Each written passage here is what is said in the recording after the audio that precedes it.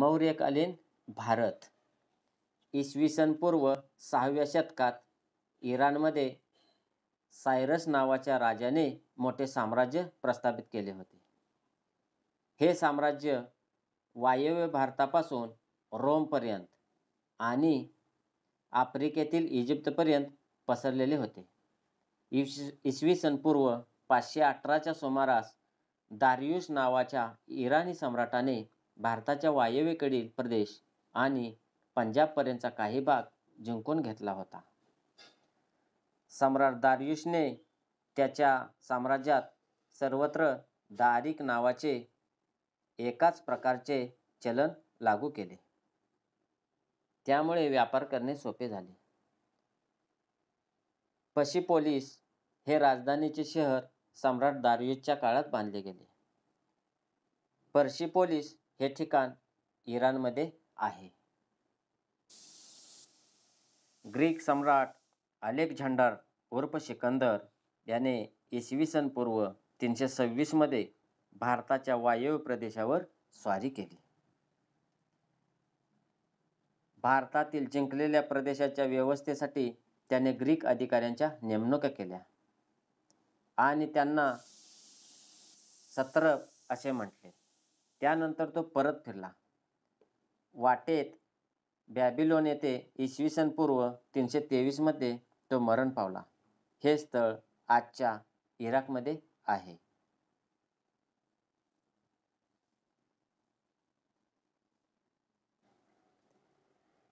Greek मूर्तिकलेचा भारतीय कलाशैलीवर प्रभाव पडला. यातून पुढे गंधार नावाच्या कलाशैलीचा उदय झाला. ग्रीक राजांची नाणी वैशिष्ट्यपूर्ण असत. त्यावर एका बाजूला ते नाणे पाडणाऱ्या राजाचे चित्र तर दुसऱ्या बाजूला एखाद्या ग्रीक देवतेचे चित्र असे. नाण्यावर त्या राजाचे नाव असे. सिकंदराची नाणीही अशाच प्रकारची होती. चंद्रगुप्त मौर्य चंद्रगुप्त मौर्याने मौर्य साम्राज्याची स्थापना केली. मगधचा नंदराजा धनानंद याच्या जुलमी राजवटीला लोक कंटाळले होते. त्याचा पाडाव करून चंद्रगुप्त मौर्याने इसवी सन पूर्व तीनशे पंचवीसच्या सुमारास मगधावर स्वतःची सत्ता प्रस्थापित केली.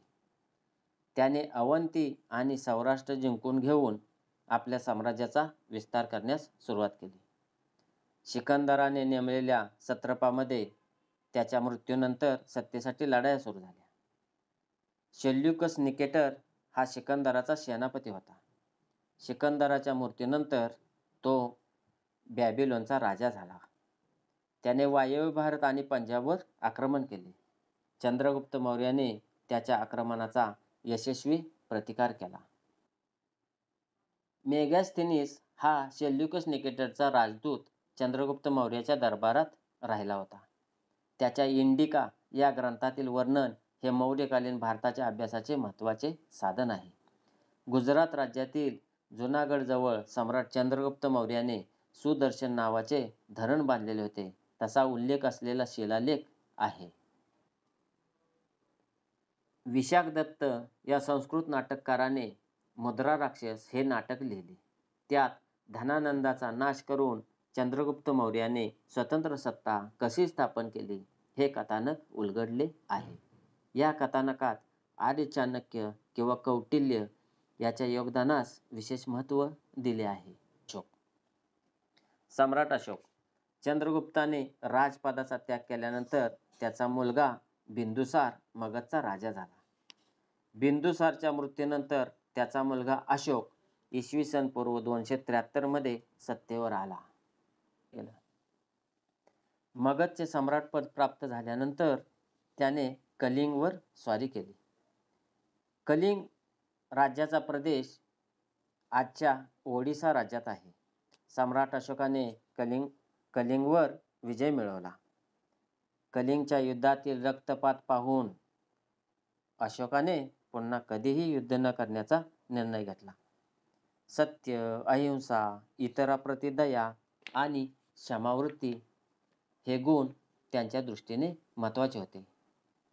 त्यांचा संदेश लोकांपर्यंत पोहोचवण्यासाठी त्याने ठिकठिकाणी शिलालेख आणि स्तंभलेख कोरवले. हे लेख ब्राह्मणी लिपीत आहेत. या लेखामध्ये त्याने स्वतःचा उल्लेख देवानं पियो पियदशी म्हणजेच देवाचा प्रिय प्रियदर्शी असा केलेला आहे. सम्राट अशोकाच्या दिल्ली टोपडा येथील एका लेखात वटवागळे माकडे गेंडे इत्यादींची शिकार करू नये जंगलात वनवे लावू नयेत असे सक्त निर्बंध लिहून ठेवले होते. अशोकाने स्वतः बौद्ध धर्माचा स्वीकार केला होता. बौद्ध धर्माच्या प्रसारासाठी अशोकाने आपला मुलगा महेंद्र आणि मुलगी संघमित्रा यांना श्रीलंकेस पाठवले होते. त्याने अनेक अनेक स्तूप आणि विहार बांधले. होते. अशोकाने लोकउपयोगी केलेली कामे. अशोकाने प्रजासाठी सुखसोयी निर्माण करण्यावर भर दिला. उदाहरणार्थ माणसांना तसेच पशूंना मोफत औषध पाणी मिळावे अशी सोय केली. अनेक रस्ते बांधले. सावलीसाठी रस्त्यांच्या दोन्ही बाजूंना झाडे लावली. धर्मशाळा बांधल्या. विहिरी खोदल्या. मौर्य साम्राज्याची राजधानी पाटलीपुत्र येथे होती. राज्यकारभाराच्या सोयीसाठी साम्राज्याचे चार विभाग पाडलेले होते. प्रत्येक विभागाची स्वतंत्र राजधानी होती. पूर्व विभाग तोशाली पश्चिम विभाग उज्जयिनी दक्षिण विभाग सुवर्णगिरी उत्तर विभाग तक्षशिला. मौर्य काळात शेतीच्या उत्पादनाला खूप महत्त्व होते. शेतीबरोबरच व्यापार आणि इतर उद्योगही भरभराटीला आले होते. हस्तिदंतावरील कोरीव काम कापड विणणे आणि रंगवणे धातुकाम यासारे यासारखे अनेक व्यवसाय होते. चकाकी असलेली काळ्या रंगाची मातीची भांडी घडवली जात. नौका बांधणी हाही एक मोठ्या प्रमाणावरील उद्योग होता.